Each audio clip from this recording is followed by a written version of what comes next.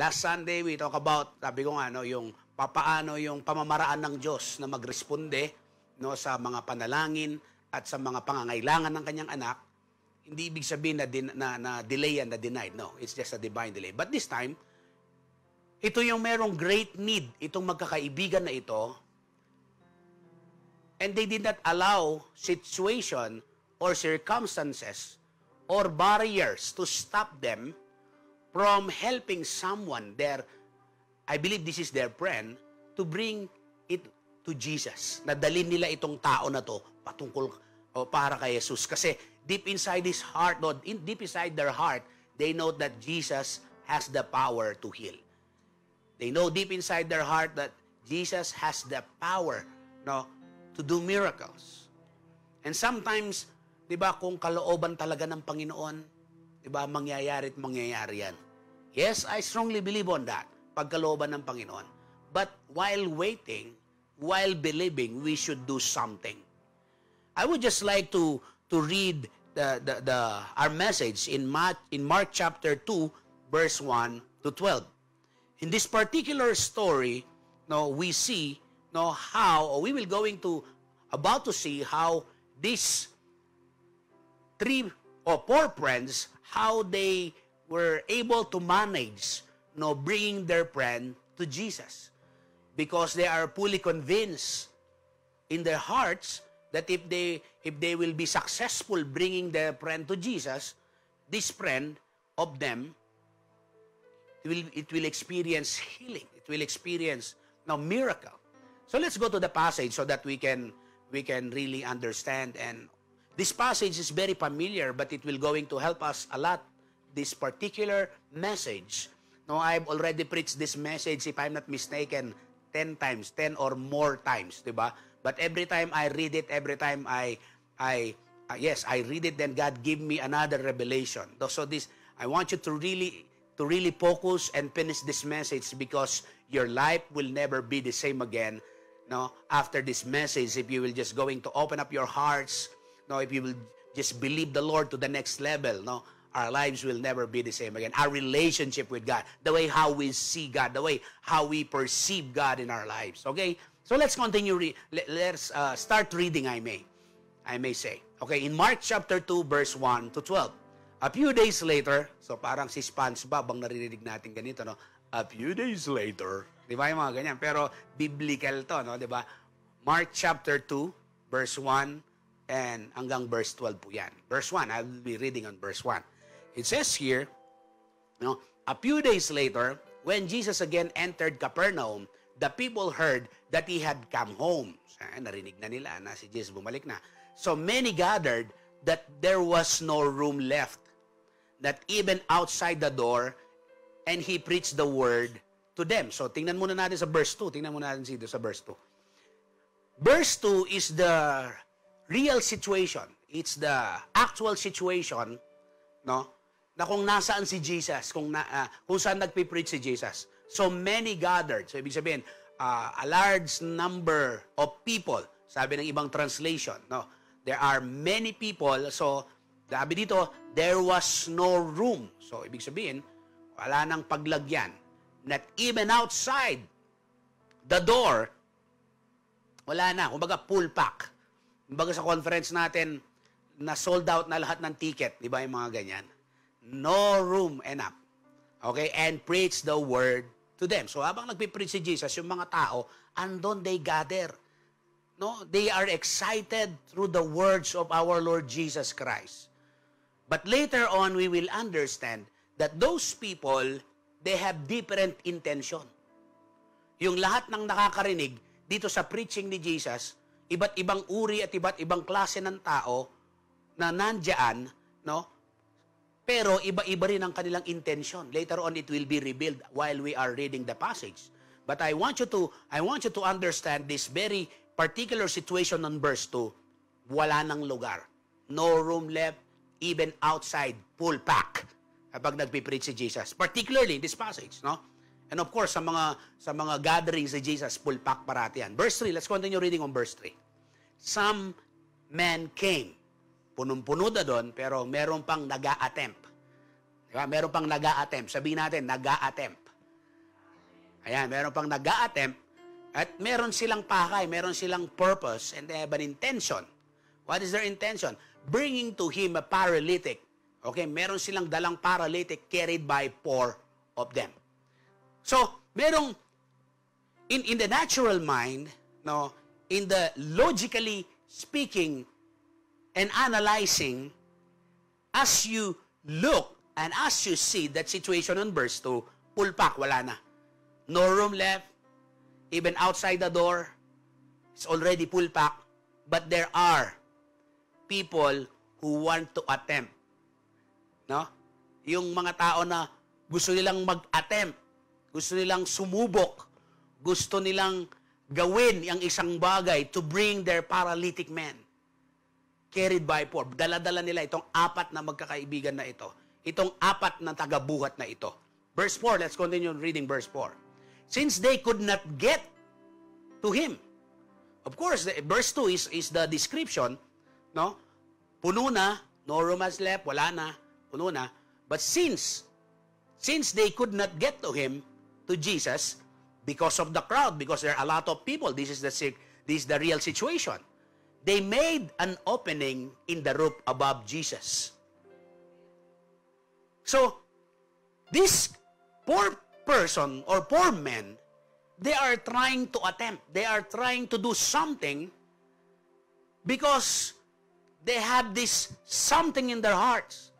No, meron sila sa puso nila that there is an urgency in the heart of these poor men that they should bring their paralytic man to Jesus so that this, this paralytic man will be healed.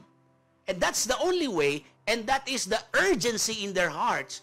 So because of that, they were, they, they find a way. Kumbaga, diba yung, they, they look at them, so how, how do you know, no, bakit nila nalaman, how did they know, bakit nila nalaman na puno na. Of course, merong pumunta. Merong nag-investigate. Merong pumunta dun sa lugar na yon. That's why verse 2 was mentioned. The description of verse 2, no, no more room left. Isn't it sometimes, no, when when there is a close situation, there is a, there is something that is impossible na hindi na po we try to attempt or we stop trying to attempt. Dalawang klase lang ang tao eh. Ne?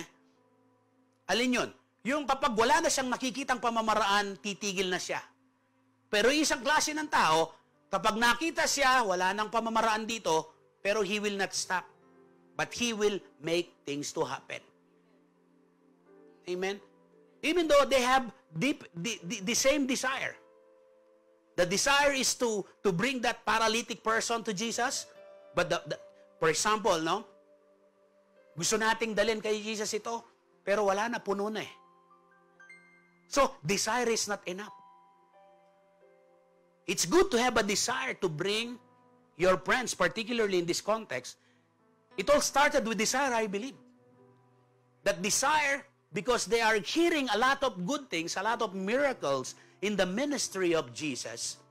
That's why that desire no, was built up in their hearts But look at what they did. Because it's already full pack, there are no room left. Isn't it sometimes, no? Kapag no room, pag sabi, sabi niya, no, no hope, di ba? Wala na. Marami mga tao tumitigil na. Tama ba? Parang sa atin. Di ba, sa ating buhay, marami mga tao tumitigil na. Anyway, I try. But uh, it did not work. No, sometimes we did not try. Sometimes it's just a desire. But we need to move from desire, just like in this passage, I would, I would just like to read this again in verse 4. Since they could not get to him, Jesus, uh, get to Jesus because of the crowd, they made an opening in the roof above of Jesus. Imagine, no? Tindi niyan. Tapos, bumutas sila ng bubong. Tama? So I would just like to speak through the title, The Power of Determination. Yan po ang pag-uusapan natin ngayon. The Power of Determination. Desiring to do something is not enough. We should be determined. Kailangan determinado ka. Itong magkakaibigan na ito, kung puro desire lang sila, hindi nila maidadala yung, kapat, yung kaibigan nila. But determination will make you creative. Kaya they are they are creative and uh, na isipin mo no, tiningnan nila na wala nang wala na doon sa ano sa magkabila, no? No room left, wala na lala, wala nang paglagyan and then doon sa daanan wala na rin. But because of the power of determination, they become creative. At alam nyo pa, because of the power of determination, no, they become courageous. They they did something that others did not do. They are willing to attempt to do weird things. Alam niyo, weird yun eh. Weird yun, isipin mo, bubutasin mo yung bubong. They are willing to take the risk. If you have the determination, a person with the determination, he is willing to take the risk. Bakit? Eh, papabayad yun eh. Bin, sinira mo yung bubong eh. Tama, are you listening here? So it's a risk. It takes it takes a determination to do that. Isn't it sometimes that when we want to bring people to the Lord, eh, pandemic ngayon eh, bawal eh. Kapatid, it determines how you are really determined, no? Na para gawin yung gusto ng Lord at gusto mo pa, na gawin para sa Panginoon. They dig something. There are no room left. There is no way. But there is another way. Doon sa taas. Amen? Yung taong hanggang desire lang, walang makikitang pamamaraan. Pero yung taong determinado, anong wala, anong hindi pwede, pwede yan. Ayun no, butasin natin yung bubong, walang, walang, walang dadaan doon. Imagine that. I believe while Jesus is preaching, sabi ng verse 2, no? Jesus is preaching and people are there. I believe na abang nagpipreach si Jesus, no? Abang nagpipreach si Jesus, no? Itong mga apat na magkakaibigan na ito ay busy. Busy because if you are determined, kung ikaw ay determinado, mag-iisip ka, you will think. It is not just for, for to, to attempt something, but you will think. And out of that thinking, you will be, you will be creative enough. And because of that, they find a way that they should bring this paralytic man to the roof. Sa taas. It's not easy to bring that paralytic man to the roof. But because of determination, they were able to do it. Yung mahirap dumadali kapag determinado ka. At mahirap sumuko yung taong determinado. Pero madaling sumuko yung mga taong gang desire lang. Are you listening? So, I believe in this as I imagine it. No, while Jesus is preaching, people are listening and somebody there is happening. people are listening, but something is happening on the roof. Imagine, habang nagpipreach si Jesus, no? May abang nagpupukpok sila, nagsisinsil sila, gumagawa sila ng butas sa butas sa taas. Siyempre yung ano, yung yung yung lupa na nandoon sa taas kasi yung yung mga tahanan ng araw, hindi naman konkreto na ganito eh. Kuweba 'yan eh. Tapos merong ano sa taas, no? Habang pumupukpok sila, no? Nahuhulog yung ano, nahuhulog yung lupa, di ba nahuhulog yung paunti-unti. Imagine kung paano na-interrupt kaya yung preaching ni Jesus, kung paano na-interrupt kaya yung yung ano, yung gathering. Kasi bakit? Maya-maya hindi lang lupa ang bumababa maya-maya merong merong naka merong naka ano, 'di ba? Merong tao na nandoon na nasa kahoy na may tela, na may tali na bumababa. Hello? I want you I want you to get this, no? I want you to get this because after this, Lord, Lord is after digging through it, he lowered the mat the paralyzed man was lying on. Ilagay sa mat. Then after nang magsilsil, sure nagtaka sila, no? Yung mga tao nakikinig, na-interrupt yung preaching. Di ba? Sa church, di ba, yung mga maiingay na umiiyak na bata, di ba? Ngayon, dito sa atin, sa live stream, di ba? Si Max, parating extra sa pag nagtuturo ako, di ba? Yung aso, di ba? Wa, wa, wa, di ba? Yung mga ganyan. Pa sa church naman, yung mga bata na umiiyak, di ba? Yung, yung yung hindi pa pwede sa Sunday school, di ba, na naririnig sa live stream. Eh, ito, iba yung interruption dito. Yung interruption dito, may bumababa na paralyzed na nasa mat. Look, look at this, verse 5. Let's read on verse 5. When Jesus saw their faith, uh, wait, wait, wait, wait. Listen to this. When Jesus saw their faith, sandali, ano bang bumaba? Di ba yung bumaba yung mat na may kasamang paralyzed? Di ba dapat nakita when Jesus saw the paralyzed in the mat? Di ba dapat ganon? I want you to listen to this. When Jesus saw their faith, ang nakikita ni Lord, yung action natin na may pananampalataya. Dapat na ang sinabi dyan, bumababa ang paralitiko at nakita ni Jesus. Hindi. Anong naunang nakita ni Lord? Faith.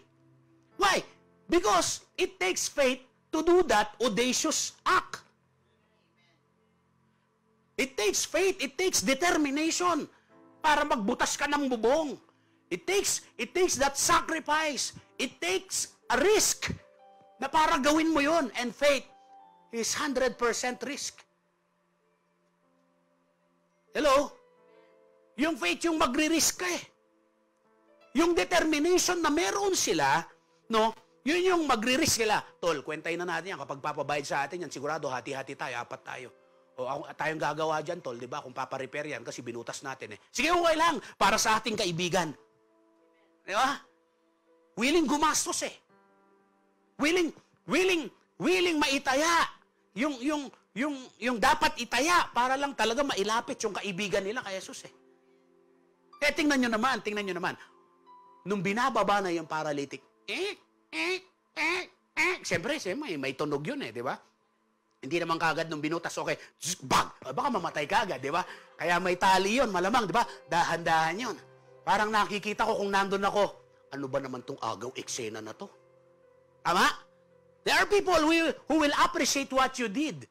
But there are people who will not appreciate what you are doing. Tandaan nyo yan. Hindi lahat ng mga tao ma-appreciate yung ginagawa mo na maging determinado ka sa paglalapit ng mga kaluluwa sa Panginoon, na kaibigan sa Panginoon, pamilya mo sa Panginoon. There are people who will not going to appreciate it. So, even, uh, siguro kung nandun ako, no, kung unbeliever ako, ako ay, sabi ko nga kanina, no, there are a lot of people who are on that Jesus meeting, they have different intention, mamaya marireveal yan. Siguro kung nandun ka, ano kaya iisipin mo? Ang ganda na ng preaching ni Jesus, di ba? Ang ganda na ng preaching ni Jesus, talagang hangang-hanga ka na, naiiyak ka na, kinikilabutan ka na, yung talagang ramdam-ramdam mo na. Tapos merong, eh, patalastas. May bumabang paralitiko. Di ba? Na-interrupt ang lahat. Bumaba. Anong nakita ni Lord? Paralyzed? Anong sinabi niya? When He saw their faith. Wow! Ang sarap niya eh, no? yung may gagawin ka, tapos yung sasabihin, nang makita ni Lord, yung pananampalataya mo. Di ba? Because of that faith, Jesus, look at what Jesus said. He said to the paralytic, Son, your sins are forgiven. By the way, when he saw their faith, kanino faith yon? Ha? Yung paralyzed, nakaganon lang yun. Tol, saan niyo ako dadalhin? Basta, dadalhin ka namin kay Jesus para gumaling ka. Tingnan mo, ang dami mga liga, hindi tayo makapasok. Kasi bakit? Apat lang tayo, kailangan lima. Hindi tayo makapag first five, di ba? De, joke lang yun, wala naman yun doon, di ba? Kasi madidefault sila eh. Apat lang sila, kailangan lima maglalaro. So hindi, si Jesus nandun, dadaling ka namin. Tol, pa paano? Narinig niya, puno na eh. Di ba? Puno na. Paano tayo makakapunta ron? Palagay ko, nagsugo ulit ng isa. Apat sila eh, dalawa. Sabi nung isa, puno. Sabi nung pangalawa na pumunta, buti na lang may team eh. Kasi yung isa, hindi kaya, pero pag tumingin yung isa, sabi niya, tama siya. Tama yung sinabi ni, ni ano, ni, ni, ni, ni, ni Jonas, tama. Sabi sinabi ni Jonas, wala na ang tao. Ay, wala, wala, wala nang lugar, puno ng tao. Eh, kaya lang, kasama si Justin eh, no? Sabi ni Justin, tama, wala, wala nang lugar. Pero, may nakita ako. May nakita ako, kaya lang matindi to. Kailangan, kailangan ng ano dito, kailangan ng determinasyon to, pare. Talaga bang mahal mo kaibigan natin? Oo naman. Eh, binuhat nga natin, ang layo ng pagkakabuhat natin dyan, nadala na natin dito eh. Tsaka pa ba tayo babalik? Yan, yan. That's the attitude, baby. Di ba? Parang gano'n, eh, no? Yun ang attitude, eh. Yung sinimulan mo na, ititigil mo pa ba? Nandun ka na, eh. Di ba? Nandun ka na, sinimulan mo na, eh. Ngayon ka pa ba panghihinaan ng loob? Kaya, maganda kapag may gagawin ka na ganyan, huwag kang mag-isa. Kasi kapag mag-isa ka, pwede mong sabihin, I did my best, but I... Di ba? Was not good enough, di ba? Hindi, hindi pwede. Pero buti na lang may isa. Tama yung sinabi ni Jonas. Sabi ni Justin. di ba? Pero, di ba? Pero, wala na doon sa kabila, left and right sa door, wala na sa room, puno na. Pero may nakita ako. But, it will take determination how we really, really want our friends to go to Jesus. Ano yon? We need to have a plan. We need to strategize. Di ba? Palagay ko habang nagbubo, kasi risky itong gagawin natin. Risky. Gaano mo kamahal yung kaibigan natin? Abay, kaibigan ko yan, di ba? Kahit ano gagawin ko dyan. Ikaw, ikaw, gaano kamahal? Kahit ano gagawin ko dyan. Ikaw, ikaw, ikaw. Totoo? O sige. O kuha ka ng, kuha ka ng hagdanan. Ano gagawin sa hagdanan? Basta kuha ka. Di mo mahal mo? O kuha ka. Kuha ka ng tali. Ano gagawin natin? Kuha kang maso. Kuha kang pansilsil. Di ba? Tapos kuha ka ng, ano, tela. Di ba? Kuha ka. Dali. Bilisan mo. Habang nandun si Jesus, huwag natin sayangin ng panahon. Di ba? Come on, quick, hurry up! Yan, mga ganun, no? Bakit? Eh, mahal mo, di ba? Oo. Di ba? Grabe na, manapakanta la- lahat sila, binubuhat na nila, no? Tol, anong gagawin natin? Kasabihin ko na lang pagdating natin doon. Ah, di ba? Mga ganun. Hindi kailangan mo sabihin mo na ngayon. Di ba, minsan bago mo sabihin, kapag sinabi mo na lahat, pagdating doon, ay tol, wala na. Eh kapag malapit na doon, eh tuloy-tuloy na yon. O tuloy, tol, anong gagawin natin? Di mo mahal mo? O may team song tayo ngayon, ha? I will do everything for love. Di ba? Mahal mo yan. Kaya kapag uh, nahihirapan tayo ng kanta natin, I will do everything for love. O ganun ha? Tuloy ang gagawin natin. O punta na tayo sa taas. O itali mo na. O i- i- pumunta kayo doon sa taas. O sige, sige. Su- saluhin nyo dyan ha. Saluhin nyo, saluhin nyo. Saluhin nyo. O saluhin nyo ha. Saluhin nyo, saluhin nyo. O tol, hindi pa pwede. Baka mamatay ito, matuluyan. Paralyzed lang to, baka mamatay. Di ba matuluyan? Dedelebuhatin na lang natin. To make the long story short, nalagay nila sa taas. Siyempre, paralyzed lang yun. May isip pa rin yun eh. Buhay pa rin ang isip nun eh. Nung binubutas sila, Tol, anong ginagawa nyo? Ba't nyo binubutas yan? Di ba? Aring tanong ng paralyzed yan eh, di ba? Wala, basta kasi mahal ka namin, dapat mapalapit ka kay Jesus. Kasi pag ano, kaya kang pagalingin ni Jesus, kapa, ah, kaibigan, friend, di ba? Eh baka magalit ang may-ari. Sabi niya, di ba? Baka magtakbuhan kayo, maiwan ako dito. Kawawa nga naman eh, no? Ginagawa namin to para sa'yo. Okay. So to make the long story short, ando na. Bakit ko sinasabi yon? Possible yun eh, na matakot sila eh. Possible yun at the other side of their mind, they are calculating how much they will going to pay. Pero ang maganda ro, divided by four. Tama? Pero hindi nang ibabaw yung, yung kanilang babayaran. Nang ibabaw yung kanilang pagmamahal. Nang ibabaw yung determination nila. Tama? They are willing to pay the cost. Sa pagmamahal, you are willing to pay the, to pay the cost. If you are really determined, you are willing no, na harapin ang lahat. Di ba? Sa mga nagmamahal. Di ba? Haharap, hahamakin ang lahat. Mapaibig ka lamang, irog. Di ba yung mga ganyan? So there are moments ng buhay natin na nagagawa natin tayo, talaga yun eh. Tama? But how about bringing this paralytic man, this friend to Jesus? Balikan natin yung verse 5. Tapusin muna natin to. When Jesus saw the when Jesus saw their faith, he said to a paral your son, your son, your sins are forgiven. Tindi, no? Pwede pala yun. Dahil sa kaya mong gawin, dahil sa gagawin ng grupo mo, ng team mo, pwedeng maligtas yung tao na yan at pwedeng gumaling yung tao na yan. Dahil sa faith mo, dahil sa determination na meron ka. Okay? Eh, mahirap eh. No room eh. No way eh.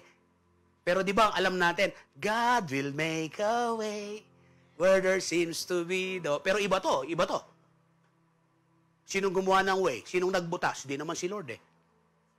Habang nagpipreach si Jesus, naramdaman niya na mayroong paparating na nananampalataya na nangangailangan ng, ng kagalingan. Sinabi niya sa mga tao, lumabas muna ang apat or lima kasi merong importanteng papasok. Di ba? Hindi. Bibigyan ng grand entrance. Saan kayo nanggaling? Saan pa kayo naglakbay? Napakadakila naman ang inyong pagmamahal sa inyong kaibigan. Hindi. Behind the scene, there are poor friends who are working. Hello? Behind the scene. Pero tingnan nyo, wala man sila dun sa loob. Pero tingnan nyo nangyari. God saw their faith. Because of that determination that they had. Yun yung power ng determination. Pero tingnan nyo, verse 6, tingnan nyo sa verse 6. Kasi sabi ni Jesus, Son, your sins are forgiven. Sabi verse 6, Now some teachers of the law were sitting there thinking to themselves, Oh, sabi ko na nga ba eh, meron nandun sa meeting na ibang intensyon, maghanap lang ng mga po pwedeng punahin. Diba? Sa mga meetings, may mga ganyan eh. Naghahanap lang ng, kasi biblical naman yan eh, look and you shall find. So naghahanap sila ng mali ngayon. Di ba? Kaya ngayon, kung hahanapin mo yung mali sa preaching ko, may makikita ka. Kasi yun ang mo eh, no? Verse 7, tingnan sa verse 7. Why does his fellow talk like that? He's blaspheming. Who can forgive sins? But God alone. May point nga naman eh, no? Verse 8, tingnan natin sa verse 8. Immediately, Jesus knew in his spirit that this was what they were thinking in their hearts. He said to them, Why are you thinking these things? Nagulat sila eh, no?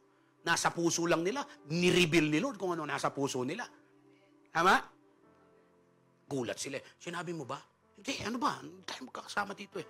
Pero wala tayong, ma- walang maililihim sa Diyos eh. Meron siyang discerning of spirit eh. Diba? Nadi-discern niya. Ayan no? Sabi niya dito, immediately Jesus knew in his heart, or in his spirit, with what they were thinking in their hearts and said to them, Why are you thinking these things? Verse 9, tingnan natin sa verse 9.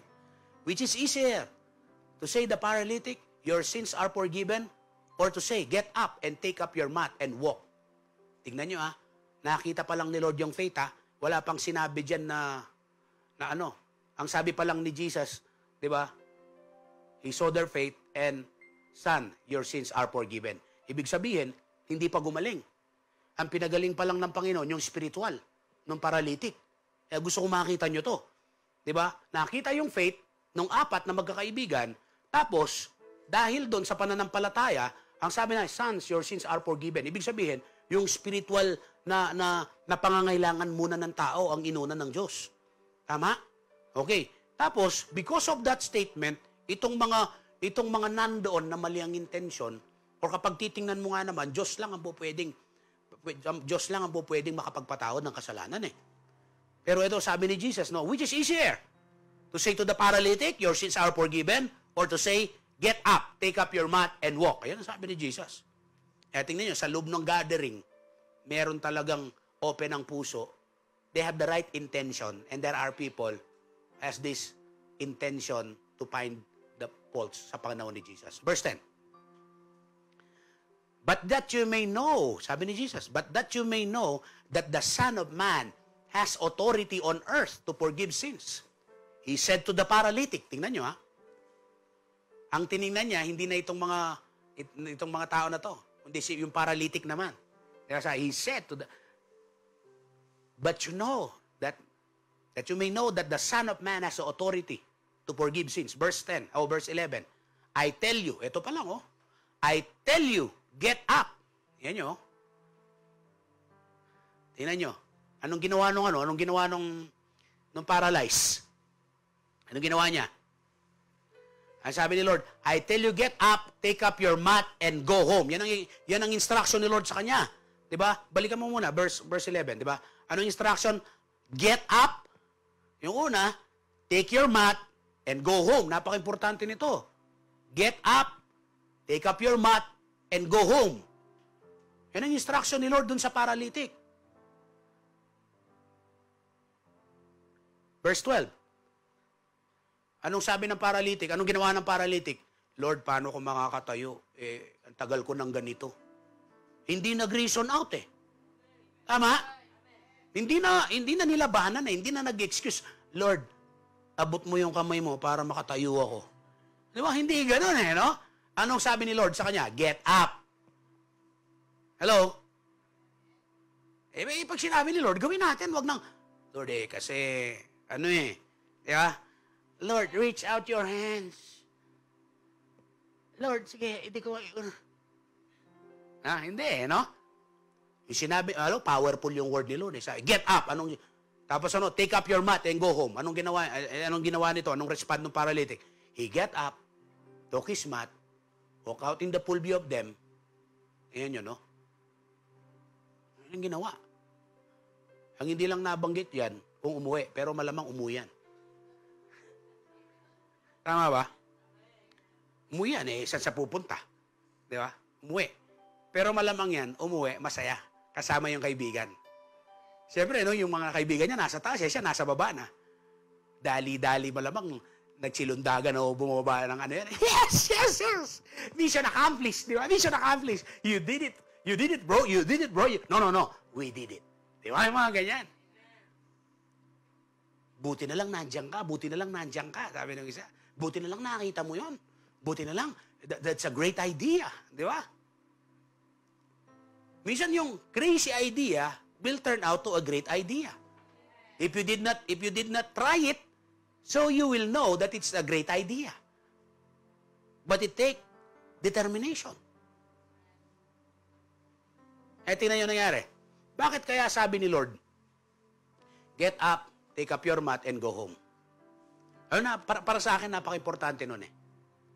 He got up, he obeyed the Lord, Jesus, and then take off his mat, alangan namang, alangan namang iwanan niya yung kalat niya doon. Eh, yung mga kaibigan niya nasa taas eh. Ba? Malamang, siyempre nandun sila sa taas, di naman makababa kasi puno na nga doon eh. Tama? Kaya malamang nandun lang sila, oh, buta, sa, sa butas na ginawa nila. They enjoy watching their view there. Nakaganon siguro sila, no? Tol, tol, ano nangyari? Natuwa, natuwa si Jesus sa ginawa natin. Faith daw. Ah, faith yun. We are so determined and and because of that, faith yun, di ba? Tapos nakita, your, your sins are forgiven. Tol, tingnan nyo, sabi ni Jesus, get up, take your mat, go home tumayo, binuhat yung mat, ah, talagang hindi na paralyzed. Kasi nakakapagbuhat na eh. Ha? Ah, tumigas na nga. Oo, oo, oo. O kasi, di ba? Una, tumayo. Eh, pagtayo. Di ba? Nung tumayo na.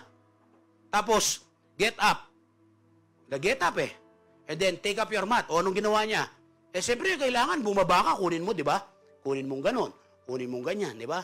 Isalansan mo. Tapos, ano gagawin mo? Bubuhatin mo na yung mat. Ah, talagang gumaling na. Dati, titigas ng kamay niyan eh. Ngayon, nababaluktot na na. Kaya nang, kaya nang bumaba, kaya nang gumawa Ay, confirm, gumaling na. Di ba? Binuhat pang ganon. Eh, dati, titigas ng kamay niyan. Di ba? Nakaganyan yan eh. Di ba? Ayun, kinuha yung mat, no? Kinuha niya. Ba, confirm nga talaga. Kaya, anong sabi ng verse 12? This amazed everyone. They praise God. Saying, we have never seen anything like this. Malamang yung, yung, yung paralyzed na yun, may kakilala doon eh. Kilala ko yan eh. Na-paralyzed talaga yan. Paralyzed yan, confirm yan. Pero tingnan nyo, gumaling oh. Ay anong sabi ni Lord sa kanya? Go home. Bakit? Dapat kung sino-sino man ang unang makakita ng himala ng Diyos sa buhay mo, yung pamilya mo. Bukod dun sa lugar, bukod dun sa lugar na nakakita at nakasaksi niyan, dapat ang saksi sa pagbabago at sa himala ng Diyos sa buhay mo, yung pamilya mo. Eh, ang utos ng Lord sa kanya eh. Hindi niya sinabi, hindi naman sinabi ni Lord sa kanya, di ba? Get up, take up your mat, testify. Hindi. Ang ginawa niya, ang sinabi ni Jesus, go home. Why? Because kung sino ang tunay na nakakakilala sa kanya, yung pamilya niya. Kung sino ang tunay na nakakakilala sa iyo, yung pamilya mo. Tama? Kaya yung himala ng Diyos sa buhay mo at sa buhay nitong paralyzed man na to, yung pamilya niya at yung malalapit na tao sa kanya. Kaya tinoy, ano sabi? Malamang, of course, hindi naman siya kagad umalis eh. Kung naghintay sa labas, siguro kung ano man ang tawagan nila, Tol, nandito na ako! Yes, yes! I'm healed! Di ba magaling na ako? Oo, oo, oo, oo. Di ba? Pwede na akong mag-basketball. Di ba? Tol, tol, pwede na tayo. Masaya malamang ito. Eh what if, tingnan nyo, what if napigilan sila? Tol, wala na eh. Wala na, tol. Mahal natin yung kaibigan natin. Nag-effort tayo. Eh kaya lang, nahuli tayo eh. Nahuli tayo eh. Puno na eh. Pulpak na eh. Eh what if they stay? They went there and they stay. Eh tol, mamaya na lang. Lalabas din naman si Jesus eh. Patapusin muna natin yung session. Di ba? What if sabi nila, tol, next time na lang, tara, uwi na tayo. Tara, dali na lang natin sa park, magpahangin, magmuni-muni. You know what?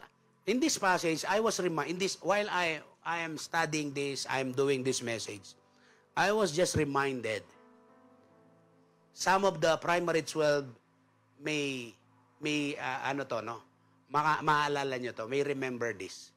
There is this time na merong event sa sa Cuneta. I think it's a campus revolution. If I'm not mistaken, that's a campus revolution. No?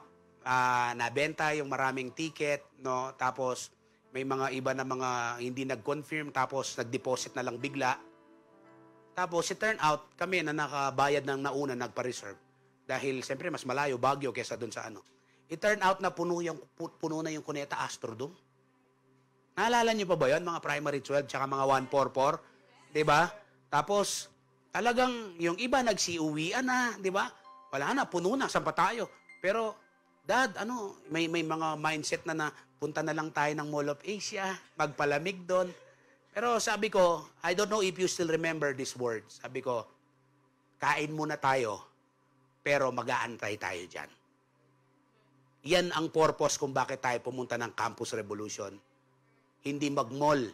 Pero okay lang yan after. 'Di ba? Pero ang purpose natin dyan, pumunta ng Campus Revolution, ma-empower tayong lahat. Naalala niyo yun, nagintay tayo noon eh. 'Di ba nagintay, tapos maya-maya, may tumawag sa akin. Ilan ba kayo, pastor, na galing ng Baguio? And then it turned out, what happened? Do you remember what happened? Yung mga iba nandun sa taas, yung mga ano, tapos kayo na determinado, na tayo na determinado. Saka nakaupo. Eto ang stage. Ayan sila oh, ayan oh, ayan oh. Ayan oh, dyan sila. 'Di ba? Dyan sila, ayan. Naalala niyo yun? Naalala niyo yun? Kasi determinado eh. God teach us a lesson. God taught us a lesson during that moment. Pwede tayong umuwi na lang. Tapos makinig na lang, manood na lang ng Facebook live stream or ng ano. Pero we did not we did not surrender. We did not stop. We did not allow that situation to stop us. Kaya later on, 'di ba, after lunch, pinatawag lahat ng True Vine City Harvest Church Baguio at yung mga kasama natin. May special pa na ano, yung mga ano kay Pastor Lothar diyan, no, yung galing ng Baguio. Ah, papasukin nyo, doon, doon, sa harap, sa harap, sa harap. Bagyo ka ba, Bagyo? O, yun, biglang pinapasok lahat eh, di ba? Yung, yung pawisan, yung, yung talagang, ah, ano, no, yung parang pawisan na parang ah, nabasa na sa, hindi sa ulan, kundi sa pawis. Sabi, lahat ng pagod, lahat ng ano, di ba, nawala. Excited lahat.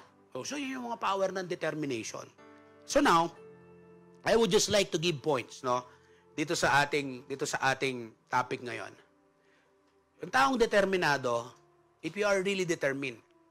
But I would just like to connect it. No, kung nag evangelize tayo mga kapatid, kung yung vision nasa atin, yung winning souls and making disciples, we will not allow this pandemic, we will not allow our situation to limit us to bring and win souls to Jesus. Yung verse 2 is an indication, is an indicator na mahirap na, wala na, wala nang way, wala nang lugar eh. It symbolizes that in our situation right now, mahirap. May COVID eh. Baka mahawa eh. 'Di ba? Hindi po pwede ng physical pa eh. So yun lang ba ang pamamaraan para ma ma ma ma-communicate natin yung mga tao, makita natin yung mga tao. Kaya mga kapatid, in these three powerful points that I want to share to you, to each and every one, everyone who is watching, it symbolizes itong kaibigan na ito, ito yung mga, pwedeng ito yung kaibigan mo na gusto mong ilapit sa Panginoon. Pero parang mahirap ngayon dahil may COVID eh. Parang noon eh, itong apat na magka... Mahirap eh kasi puno na eh. Pero walang taong, sa taong determinado, walang mahirap eh. Sa isang determinado, walang no room enough eh. Hindi. There are situation. There are strategy. There are ways that must be done. Amen. Kaya ito, no, ito yung katotoo. Halimbawa, yung pamilya mo, ilapit mo kay Lord. Eh, paano? Walang church. Eh, pedo, oh, may live stream, mo. Oh. Tama? Eh, kung gusto mo ng, ng cell group sa bahay ninyo, text mo ako. Sige, magsi-cell group ako sa bahay ninyo. Pupuntahan ko kayo. Pwede naman akong pumunta eh. Diba? Mag-alcohol naman ako, magbamas naman ako eh. And most of all, the blood of Jesus. Tama? Sige, just text me. Dito sa Baguio, ha? Kasi mahirap bumaba ngayon ng Baguio. Di ba? Baka hindi na ako makabalik. Pero ito, ngayon, no, text mo lang. Oh, sasamahan ko yung cell leader mo para puntahan ka. Kasi bakit? Huwag tayong magpakulong. Huwag tayong magpa, magpa, magpatali sa sitwasyon na ito. Imagine kung, kung, kung, kung nagdepende sila sa nakita nila. Di na pwede. Wala, wala, walang istorya na mangyayari na to. Tama? Bakit ito naisulat? Eh, siyempre, kamangha-mangha to eh. Hindi ordinaryo to eh. Tama? Bumutas ng bubong eh. Yung bumutas ng bubong, di ba? It takes a determination to do that. Hello, nahulog yung ano ko. Okay. Yung wholeheartedly na kailangan na magkakasama-sama, may kasama ka. Kasi pag mag-isa ka, ganadong-ganado ka eh. Tama? Pero kapag dumating yung, yung nag-evaluate ka na, ay mahirap. Ay mahirap. Kaya ito, buti na lang. Example to eh. Na hindi lang siya nag-isa. May kasama siya. Kaya yung kaibigan mo, yung pamilya mo, kaklase mo, yung mga disciple mo, eh wag mo, oo, may COVID, totoo yun ngayon eh. Diba? Pero totoo rin na kailangan ng kaibigan mo, ng pamilya mo, ng mga disciple mo si Lord. Tama? Hindi yung, hindi, gagawa rin ng paraan si Lord, mga kapatid, God will make a way. Hindi eh. May mga pagkakataon, si Lord, oo, gagawa siya ng paraan. Pero may mga pagkakataon na tayo dapat gumawa ng paraan. Tama. Kaya nga sa atin ngayon, we use the social media platform to maximize reaching you, reaching your your family, reaching every disciple, reaching reaching the world, no? Through the gospel of Jesus Christ. So that people will receive him and make him as Lord and Savior in their lives because Jesus is the hope of every person. Jesus is the hope of this nation, of this pandemic. But we should rise up as a church as a leaders, we should rise up with full of determination na hindi natapos, hindi nagpahinga ang soul winning at discipleship dahil may pandemic. No? Hindi nagpahinga yung pag-ibig ng Diyos. Kaya nowadays, in this situation, we will still do winning souls and making disciples. There are a lot of ways. There are a lot of things that we should do. But the question is, are you determined to do it? Balikan mo, cell group mo. Balikan mo yung mga disciple mo. Hello? Kung naka-lockdown doon, hindi ka makakapasok, o di-text mo, kausapin mo. Zoom. Di ba? Cell group. Pero sabi ko nga, kung po pwede at may desire ka ba, Sir, gusto ko po magkaroon po ng cell group sa bahay. Just text me. Pupuntahan kita. Kasama yung cell leader mo. Cell group tayo dyan sa bahay ninyo bibisitahan ko kayo. We will not allow this pandemic to stop us. Ah, Pastor, lumakas na Tagalog mo. Hindi, malakas naman Tagalog ko, but I would just like to give so much importance to the health of the people. Pero tandaan natin, di ba? Hindi lang dahil may vaccine na. Pero kung talagang kailangan na kailangan mo, na hindi kaya ng cell group sa online, na hindi kaya ng ng usapan sa cellphone, pwede naman. Bubutas tayo ng bubong. We will do everything para madala natin yan. So, power of determination. Number one, even though there are barriers, I will not stop bringing people to God. Yan ang unang-una. No? Even though there are barriers. Ano bang barriers? No? Yun yung mga hadlang. Hindi ako magpapapigil para magdala ng kaluluwa sa Panginoon, ng mga tao sa Diyos. Even though there are barriers. Hadlang ito, hadlang, ginawang hadlang ito, di ba? Pero wag na natin gawing hadlang yan. Maraming pamamaraan, online. Pero kapag kailangan ng bisitahan, di ba? Soak, no? Soak with yourself with alcohol. De, joke lang. Ugas ka ng alcohol, then yung safety, and then social distancing, and then most of all, soak yourself with the blood of Jesus. Then go. I will not stop bringing people. Ito ba, tumigil? Anong barriers? Anong barriers ng, ng, ng mga magkakaibigan na to? Ang barriers sa magkakaibigan na to, alin? Tao. Punong-puno na ng tao. Kaya minsan, tao din ang barriers para makapaglapit tayo sa Panginoon. Ano? Sino? Sino? Ikaw. Diba? Ako. Pag tinamahan ka ng katam, di ba? Espiritu ng katam, katamaran, di ba? Yung mga yeah? Pag tinamahan ka ng ano, pag tinamahan ka ng negativity, oh, yun na. Tama ba? Are you listening here? So, sino pa? Tao kasi, di ba? Tao yung pupunta ron. So, ano yun? Masamang ugali natin. Tama? Yan ang nagiging dahilan, nagiging hadlang. Bakit di tayo makapaglapit ng tao sa Panginoon? But we will break those barriers. Sila nung ginawa nila, hindi lang yung tao. Ha? Una, yung tao ang hadlang. Pangalawa, ano? Kailangan nilang bumutas ng bubong. Yun yung barriers eh. Una, yung tao, then yung bubong. Sa atin, tao, yung buhay natin, kailangan maayos. Yung buhay natin, kailangan may, may testimony. Kailangan buhay natin ay, ay maayos sa harap ng Diyos at sa harap ng mga tao. Then ano pa yung hadlang? Wala akong sasakyan eh. Wala akong load eh. Di ba? Wala akong ganito eh. Wala akong pass eh. Eh mag-usap-usap tayo. Kaya nga nung makita nila, yung ginawa nila, nag-usap sila ulit. Di ba? Nagkaroon sila ng nagkaroon sila ng meeting together. Nagkaroon sila ng brainstorming. Pero buti na lang sa brainstorming, hindi nanalo yung negative. Di ba? Merong una, kaya nga na-report sa verse 2, no? Nag-report, puno na eh, wala na. Wala na. Next time. Di ba? Buti na lang ang nanalo yung positive. Buti na lang na naeg yung determination na meron sila. Kaya kapag nag-uusap, dapat ang nananalo yung yung yung positive, yung may determination, yung yun yung pagkatapos yung nag-meeting, lahat kayo masigla. Hindi yung pagkatapos ng mag-meeting, masigla kayo nang hina ka. Ay hindi yun. Ito wala nang way eh, wala na. Pero dahil kapag determinado ka, meron kang right perspective. If you are so determined in winning souls and making disciples, then you have the right perspective. Meron kang tamang pananaw. Meron kang tamang galaw. Kaya kapag meron kang tamang pananaw, meron kang tamang galaw. At dahil tama ang galaw mo, tama ang resulta ng buhay mo. Kaya mga cell leader, it's about time, it's our time to arise. Let us let us really understand this power of determination. 'Di ba? Are you listening here? Even though there are barriers, that's number one. I will not stop bringing people to God. Yan yan, 'di ba? Pag mahirap, 'di ba? Isipin mo bubutas ng bubong, bubutas ng bubong, 'di ba? Alalahanin mo lang 'yon. Power of determination. Meron.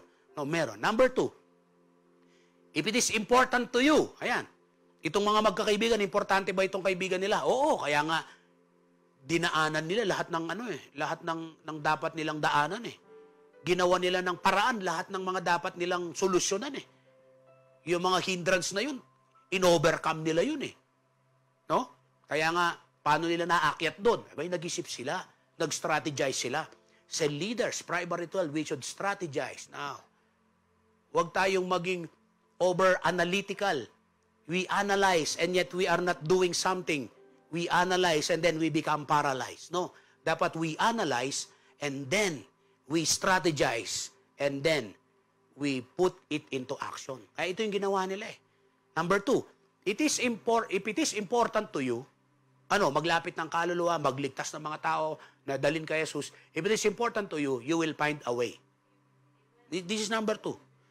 If soul winning and discipleship in saving the world, saving people to Jesus, bringing people to the feet of Jesus, if it is important to you, you will find a way. We will find a way. Sabi nga ng bangko, di ba, we find ways for you. Di ba? 'Di ba?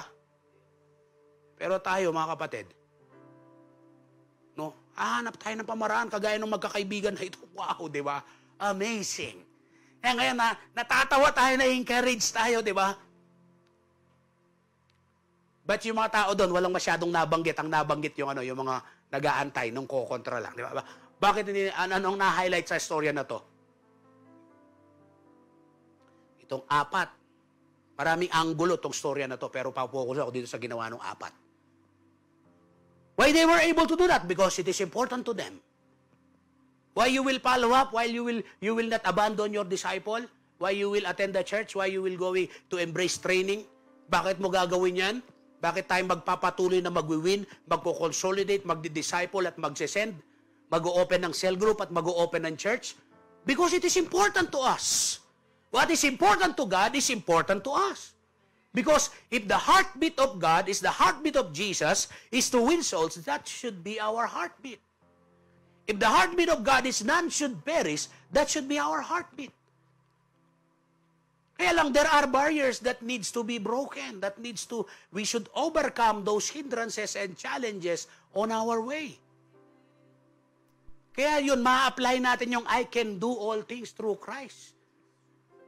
Because He strengthens me. Amen. Ito yun, number two. Tapusin ko lang tong number two. If it is important to you, you will find way.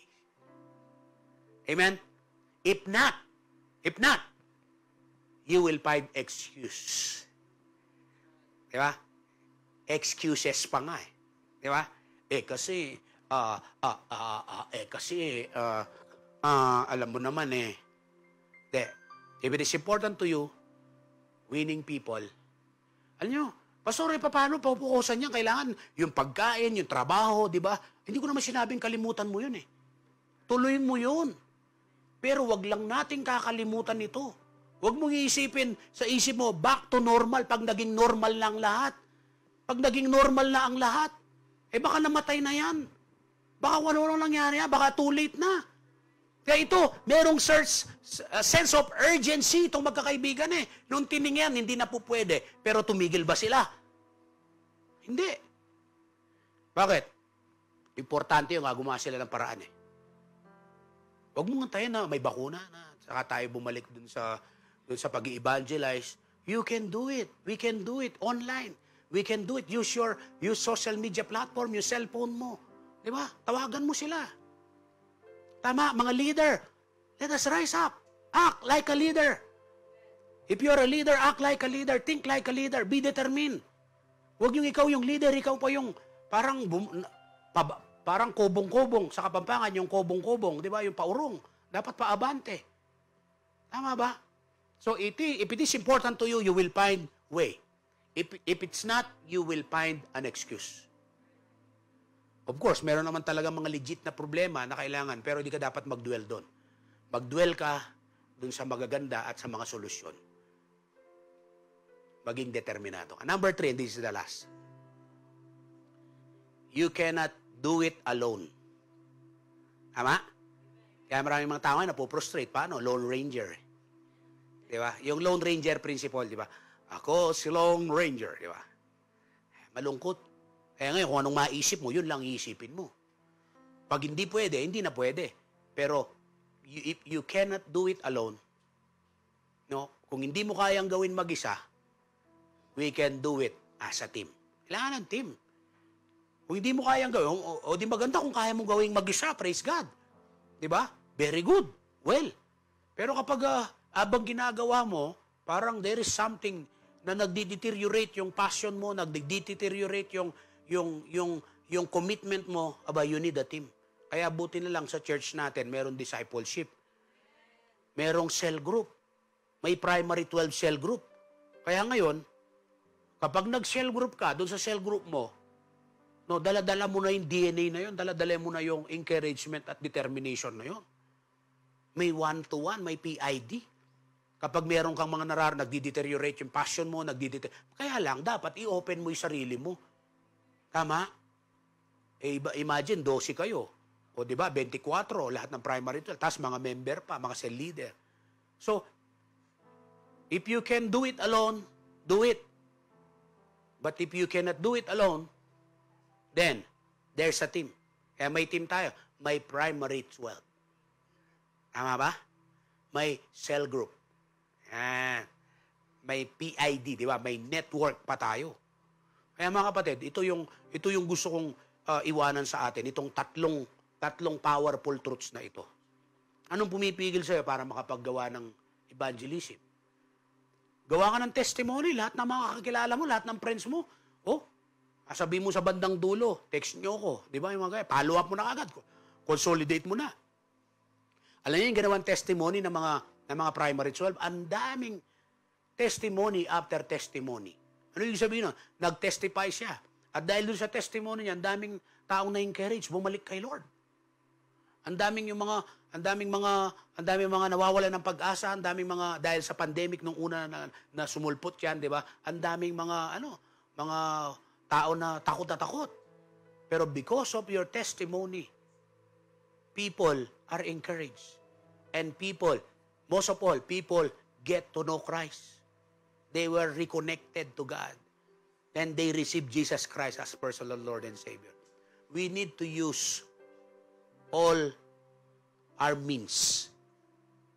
It takes determination. There is power. A person who is full of determination is an unlimited person. Ang isang determinadong tao, maraming nakikita na hindi nakikita ng ordinaryong tao. And ordinaryong tao, nakita, puno na. And ang nakita nila, pumutas dun sa taas. Are willing to take the risk. Power of determination, number one, even though there are barriers, I will not stop bringing people to God. If it is important to you, you will find ways. If not, you will find an excuse. You can do it alone, but we can do it as a team. Handaan natin yan. Kailangan natin ng team. Kailangan mo ng tamang tao. Huwag kang sumama dun sa tao na imbis na na-encourage ka, lalo kang nadi-discourage. Di ba? Pumunta ka dun sa mga tao na na-encourage sa'yo at nagkukorek sa'yo. Baka mamaya mali ang mali ang ano mo ha, mali ang pananaw mo na pag kinukurek ka, ay hindi to mga tao na to. Hindi, yun ang samahan mo kasi bakit? They they are helping you to be a better person. They are helping you to be a better leader. They are helping you to be a better disciple. Tama? Iwasan natin yung mga kumukonsinti sa mali natin. Pag alam mong mali, kinukonsinti ka, ba, umiwas ka na doon. Kasi bakit? They are not your true friends. They are not the right person to be associated for. Tama, are you listening here? Yun yung team. Di ba, yung team na ini-encourage ka. Yung team na, yung team na alam mo na, ay hindi, mahirap eh. Yung kahit na mahirap, may nakikita pa rin paraan.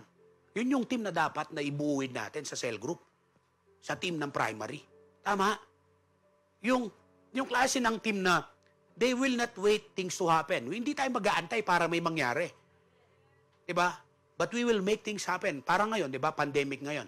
Alam nyo ba na naghahanap tayo ng lugar ngayon? Eh, yung iba nagsusuko ng mga lugar ng ano eh, nagsusuko ng lugar ng ng church building. Eh tayo hindi, naghahanap tayo ng lugar ngayon. Kasi bakit? Eh nakikita natin itong pandemic na to, seasonal lang to. May season to, mamamatay to kusa eh. Eh pero yung paglilingkod natin, tuloy-tuloy. Kaya kung mali ang mindset mo, shucks, ngayon tayo naghahanap eh. Eh, eh ano nga eh, di ba? Yung touch offering nga natin, kukunti lang, mga ganito lang eh. Eh, yun ang nakikita mo. Pero kailangan tingnan mo ngayon yung future. O, di ba? Paghanap tayo ng lugar ngayon, may nakita na nga ako, ipag-pray natin yun. Di ba? Pag-pray natin, ibigay doon sa, sa, sa request natin. Ay, nako, pag ano yun, sigurado magugustuhan mo. Mga primary 12, pinakita ko na yun eh. Buksan natin ng ating pananaw, mga, mga, mga, mga tao. Di ba? Of course, kung ano yung, kung ano yung will ni Lord at kung ano yung direction ng Diyos sa'yo, yun ang gawin mo. Pero ito, ito yung direksyon ng Diyos ngayon eh. Sa atin dito sa Baguio. Diba? Let's find ways. Amen? At tinignan namin ni Arman eh. Grabe. Sabi ko, Arman, Arman, iba feeling ko dito, kinabahan ako eh. Ito yung kaba ng excitement na hindi ko nakita yung amount eh. Nakita ko yung kayang gawin ni Lord sa lugar na to eh. Nakita ko kung anong po pwede mangyari. Tama? Alam mo, yung, yung, yung reality, may challenges sa finances. Reality yun. But the truth is, matatapos to. Tatalunin ang pananampalataya na nasa kaimbuturan ng puso mo yan. At dahil determinado ka, at naka, nakakonect tayo sa cornerstone kay Jesus, hindi tayo magigiba. Pero kailangan nating maging determinado. What happened in this story? Through the power of determination, even Jesus saw their faith. These four friends, he saw their faith. That was the very word that's come out to Jesus. He did not said, he saw a paralytic man na dahan-dahang bumababa. No, ano lang kita niya? Faith. So, anong hinahanap ni Lord? Faith. Pero, itong faith na to, hindi lang faith of declaration. Hindi lang yung desire nila. Ito yung faith na may kasamang fit. Okay? Naintindihan mo yun? We need to put fit on our faith so that our faith can accomplish great things. Ibig sabihin niya, yung pananampalataya, abay nilalakaran. Hindi yung pananampalataya, hinuupuan, tinutulugan. Hindi. Ang, pinanampal, ang pananampalataya, nilalakaran yan. Kaya tingnan nyo, they put fit on their faith. That's why they were able to accomplish greater things, great things. Even nowadays, we are talking about the power of determination because of these four friends. Alam nyo, wala ngang nabanggit na pangalan eh. Hindi man nga nabanggit na pangalan si Jonah, si Justin, si Rodel, at saka si Clark. Wala man nga pangalan eh. Di ba? Meaning, they are insignificant people with no names. But, they were able to be part of the history that we are reading now. And they are inspiration to us. And they mark a living legacy and lesson na pwede palang mangyari. Basta, may determinado ka. Determinado tayo. Power of determination. Amen po ba? So sa pamilya mo, sa pamilya mo ngayon, nawala yung determination mo, ibalik mo yan, ibalik mo yan, kapatid. Nawalan ka ng, nawalan ka ng, ano, nawalan ka ng direksyon. No, no. Maging determinado ka ulit. Babangon ka. Babangon ulit yung, yung ekonomiya mo. Babangon ulit yung business mo. Babangon ulit yung pamilya mo. Yung negosyo mo, yung trabaho mo. Di ba last Sunday, yan yung message natin, di ba? You will rise up again. It's not yet over. But, be a man and a woman of determination. Amen? Kaya mga kapatid, it's not yet over, but you should recover your determination because there is power in determination. Let us all stand. We will pray. Father, we thank you for allowing us to be here. Father, we thank you for the message that you've given us that we should be determined. Na lahat ng pinangako mo ay totoo. Pero kailangan meron kaming gawin. Kailangan meron kaming effort. At hindi lang basta effort na hindi lang dahil dun sa desire, kundi we are determined, so determined to do the things, especially in bringing people to you, especially in in consolidating, winning, consolidating, and most of all, Lord, making them disciples of yours and making them leaders. We thank you, Lord. Bless those people who are watching on live stream. If you are a first timer, I want you to look at me if you are a first timer right now. Parang ikaw, dito sa storya na to, listen to me, sa storya na to, merong paralyzed. Alam mo sino yung paralyzed? Ano, anong, anong, anong, ano ng paralyzed? Di makagalaw. Di ba? Limited. Di makagalaw, andun lang siya. Gusto niya maglaro, gusto niya magtrabaho, di niya magawa yan. Kasi paralyzed nga siya eh. Ibig sabihin, limited lang sa, sa situation niya. Gusto niyang gumawa ng mga bagay na para matupad yung pangarap niya, pero hindi magawa. Kasi bakit? Paralyzed eh. Yun yung physical paralysis. Paralyzed. Paralysis. Alam meron din spiritual paralysis eh. Anong sabi ni Jesus? Tingnan nyo. Paano niya tinrit yung ano? Paano niya tinrit yung, yung sakit? Anong sabi niya? Son, your sins are forgiven. Yun muna inuna ni Lord, yung spiritual well-being ng tao eh. Kaya alam mo kapatid, meron kang gustong gawin, hindi mo magawa. May mga pangarap ka, hindi mo ma-achieve. May mga sitwasyon sa buhay mo na parang hindi ka makawala dyan. It, seems you are not paralyzed physically, but you are paralyzed spiritually. There is a spiritual paralysis. What makes us paralysis spiritually? Because of sin. Sin distort the image of God in your life. Sin distort our our mind, our the way we see things. It's because of sin. Sin destroy and make a wall so that God cannot hear our prayer. Yung kasalanan. Yung spiritual paralysis. Kaya kapatid ngayon, if you are first-timer and you know that you really need God, maybe you are not paralyzed physically, but spiritually you are paralyzed. I'm telling you, God can heal you right now. Physically, you have a disease, God can heal you. He's our Jehovah Rapha. Spiritually, if you have paralysis, spiritual paralysis, God can also heal you. Kaya anong inuna ni Lord? Anong inuna ni Lord Jesus na idil? Di ba yung kasalanan? Yung spiritual paralysis? Bago yung physical. Kailan nangyari yon? Nung naibaba na, and then sabi ni Jesus, get up. Take up your mat and go home. O, tsaka palang nagmanifest yung healing physically.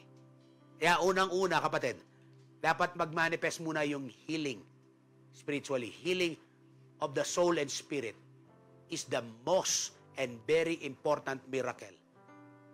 The greatest miracle in a person's life is the healing of soul and spirit. Yung ang buhay natin, ang kaluluwa natin, ang spiritual na kasala, ang mga kasalanan natin, no, napagaling, napatawad sa pamamagitan ng dugo ng ating Panginoong Jesus. Kapatid, sa oras na to, if you are watching, you want to surrender your life, I want you to pray this prayer. Sumabay ka sa panalangin na ito, sa panalangin ng pagtanggap na tayo nagkasala sa harap ng Diyos. At hindi natin kayang iligtas ang ating sarili. Na mayroong magandang plano ang Diyos, pero ang pumipigil sa plano ng Diyos para mangyari sa buhay natin yung kasalanan na ating namana at sa kasalanan na ating mga nagawa. At dahil sa kabutihan ng Diyos, isinugo niya ang kanyang bugtong na anak. Na para ang sino mang sumampalataya sa Kanya, hindi na mapahama, kundi magkaroon ng buhay na walang hanggan. Yun ang pamamaraan. Kung may plano ang Diyos, at yung problema yung kasalanan, may paraan na ginawa ang Panginoon. Sinugo niya si Jesus. Gawal, ga, dapat natin gawin manampalataya. At kilalanin natin ang ating sarili na tayo tunay na nagkasala sa banal at dalisay at makapangyarihang Diyos. That we are not worthy But because of the blood shed of our Lord Jesus Christ, dahil sa dugo na tumigis na nabubo sa krus, nagkaroon ng kapatawaran. At dahil sa kapatawaran, kaya rin niyang linisin yung ating mga buhay. At kailangan natin gawin yung pagtanggap. Tanggapin natin si Jesus bilang Diyos. At kilalanin natin siya na siya'y namatay sa krus ng Kalbaryo at siya'y namatay na ilibing at pagkaraan ng tatlong araw siya muling nabuhay. Sabi ng Romans chapter 9 and 10, you will be saved. If you confess with your mouth. The Bible says, confess with your mouth. He did not said confess with your mind. Think with your mind. No, confess with your mouth. Because there is power in every declaration. Right now, if you are that person, you want to surrender your life to the Lord, you want to accept Him as your personal Lord and Savior, I want you to follow this simple prayer that will change your life, that will that will bring restoration, redemption in your life. Okay? I want you to follow this prayer. Come on, say, Lord Jesus, forgive me for all the sins that I have done. I cannot save myself. I need a Savior. I believe, Jesus, you died on the cross for my sins. I accept you as my personal Lord and Savior. Be the Lord and the Master of my life from this day on, as long as I live. Give me a heart that loves you, a heart that is hunger and thirst for your word. Thank you, Lord. In Jesus' name.